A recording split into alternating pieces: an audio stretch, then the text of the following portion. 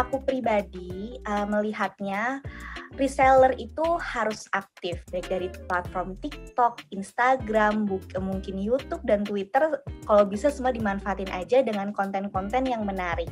Tapi konten-konten yang menarik itu kita harus mendasarkan itu research dulu ya, memang cocok nggak sih untuk di kalangan produk-produk aku. Terus selanjutnya kalian itu bisa melihat kira-kira aku tuh pengen memunculkan apa sih?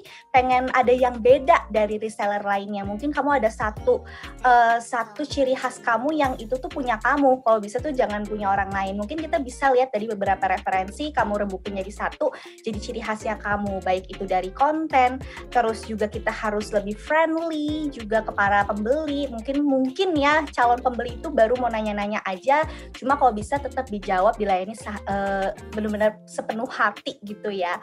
Terus juga bolehlah kalian tuh cari konten-konten yang tidak asal langsung uh, buat posting. Mungkin kan kalau orang-orang sukanya dengan editing-editing yang lucu, yang informatif, yang eye-catching. Mungkin kalian bisa munculin deh tuh di situ. Entah mungkin aku pengen brand aku itu uh, desainnya colorful. Nah mungkin bisa juga. Terus juga kalau bisa penjelasan mengenai suatu produk kalau misalkan lagi review itu secara singkat, jelas dan padat. Jadi biar orang pun juga bacanya tuh uh, oh langsung tertuju ingredientsnya apa, terus juga tentang manfaatnya apa. Jadi lebih fokus gitu, juga terlalu banyak tulisan. Jadi memang harus banyak sering-sering belajar. Sekarang kan juga udah banyak sekali aplikasi yang bisa mendukung kamu editing.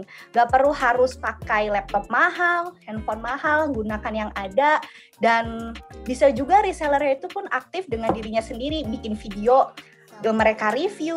Nah bisa aja lebih suka dan ngerasa lebih oh ini aja ownernya pakai loh si reseller ini pakai loh. Aku jadi pengen beli deh kayak gitu. Kalau saran dari aku yang aku lihat sih menarik seperti itu ya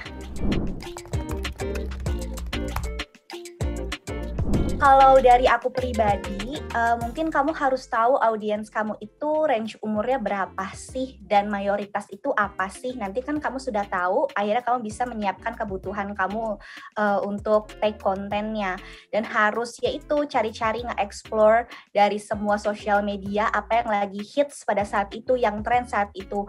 Mau gimana pun kita hidupkan terus beriringan dengan uh, tren-tren yang terus berkembang kan. Jadinya memang harus sering dieksplor apalagi untuk teman-teman yang uh, pengen meningkatkan penjualannya biar pembelinya menarik uh, ke kita biar kita pun juga lebih uh, banyak dikenal sama orang. Kalau misalkan kita upload di TikTok dengan konsisten misalkan itu kan bisa juga masuk for your page. Jadi bisa orang nge ngeliat nge-reach akun kamu. Walaupun dia misalkan belum beli tapi seenggaknya kita bisa menarik followers baru ke uh, sosial media kita. Kayak gitu sih palingan kak. Jadi uh, caranya adalah kalau mau bikin konten memang harus kreatif, ngeliat dulu apa sih yang lagi tren pada saat itu dan konsisten. Misalkan uh, sebelumnya kamu itu upload di hari Rabu di jam 4 sore, nanti di Rabu minggu depan kalau bisa upload konten lagi. Nah biasanya kan kalau tren itu mengikuti tiap minggu tuh selalu ada tren-tren baru.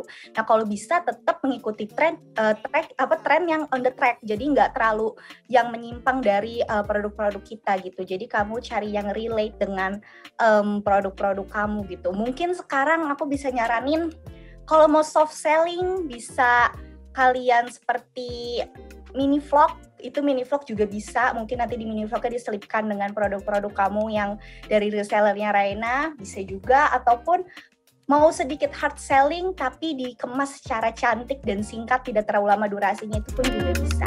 Kayak gitu kak